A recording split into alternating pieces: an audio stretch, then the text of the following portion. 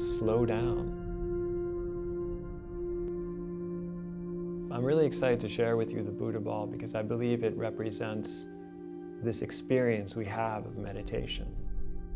The feeling we get when we meditate is a lot like levitation. It's this freedom that we can drop into our own center of gravity. And this is the power of the Buda ball. It levitates in the air and it rotates.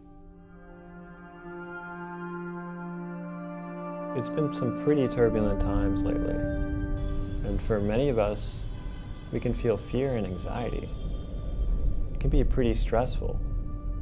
Meditation is a great way to give our minds a break, to slow down, and just observe the moment that we're in. Many of our backers told us how calm they feel when they see something float in the air. And maybe you'd like to have something that makes you feel calm or, or grounded.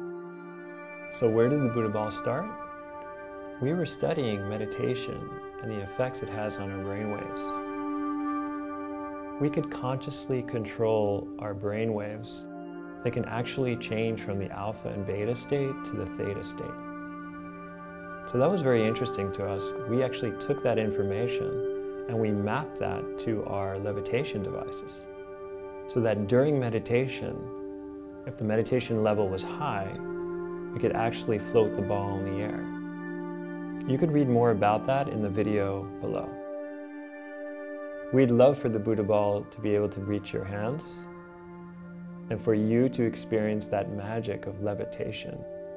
And with your support, we could get this project off the ground and into your hands.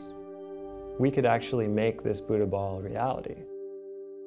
So back the Buda ball and set your mind free.